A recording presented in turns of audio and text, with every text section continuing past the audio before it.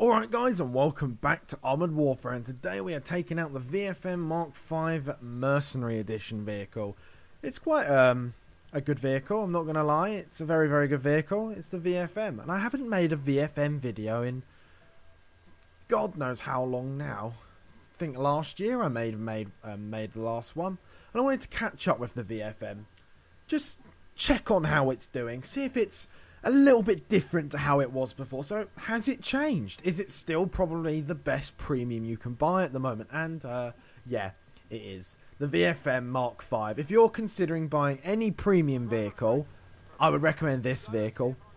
Even if you're like, but the AMX 10P PAC 90, that's a tier 4 and it's a really good Seal Clubber vehicle, but the VFM is just such a special vehicle. It, it blends the AFV mobility and with the light tank special abilities of the high mobility as well, as well as the good armour of an MBT and a fantastic gun that should really be.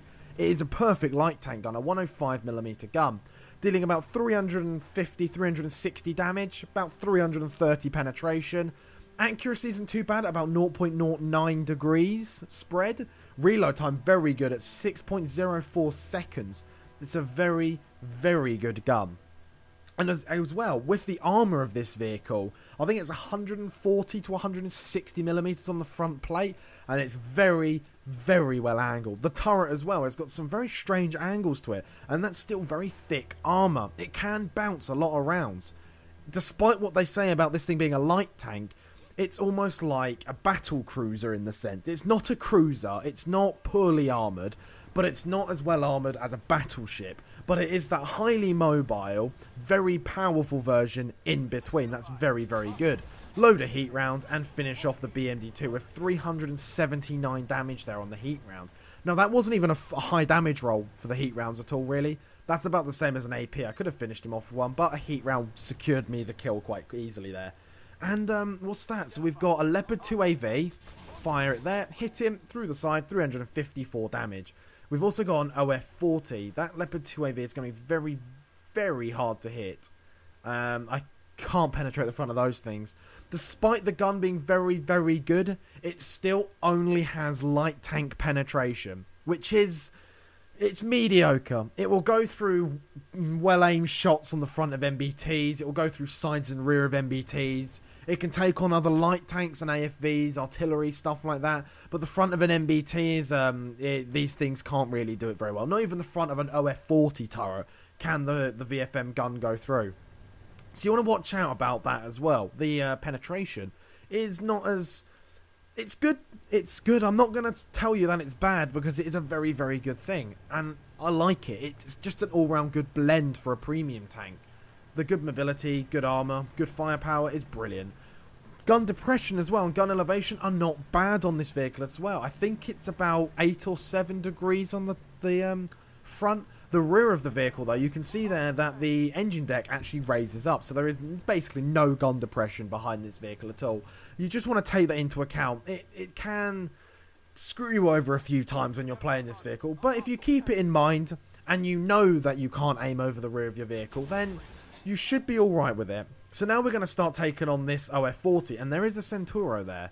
Big 105mm gun, spot him for the team, and back up.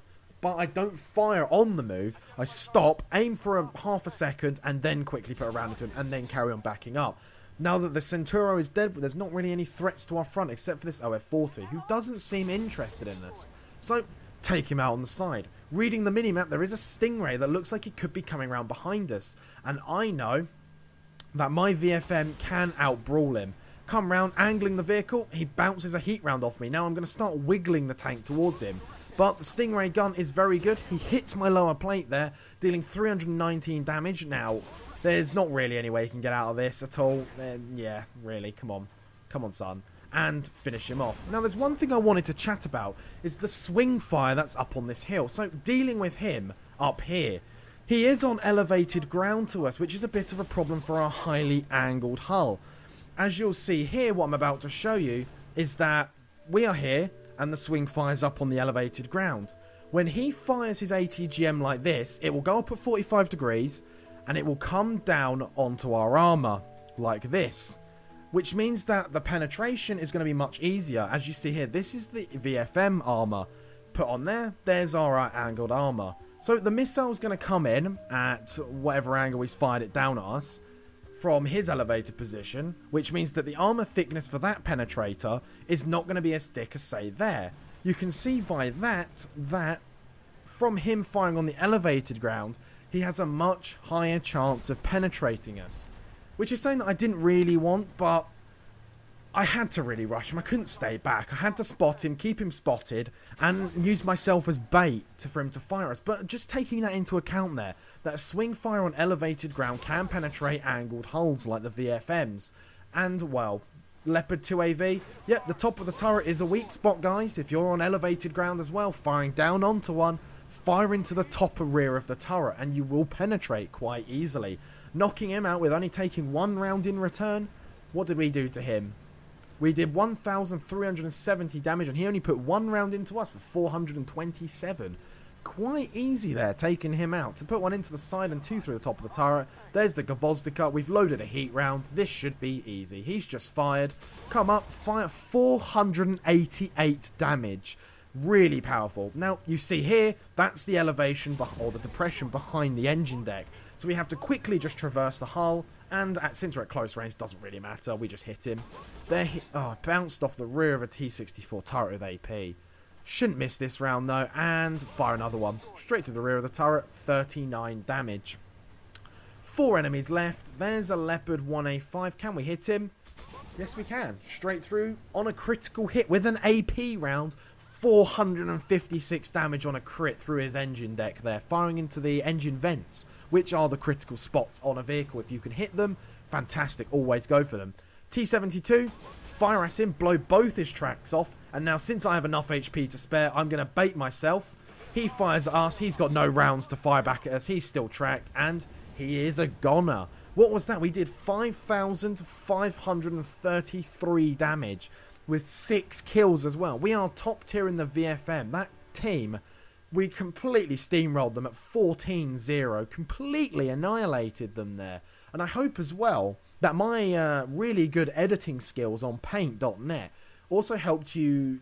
I know you probably already know it, but I just wanted to put it out there just in case there's someone that watches this video that doesn't know that about the Swingfire. When they're on an elevated position, the ATGMs also get a uh, very good penetration through angled surfaces.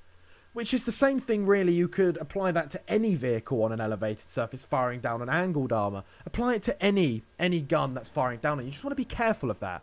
So what do we get? Master Gunner, Ace Tanker, and we got Gold Medal with nearly a million credits earned and 27,000 reputation there for our first battle of the day. We came top on the team for kills, top on damage, top on reputation.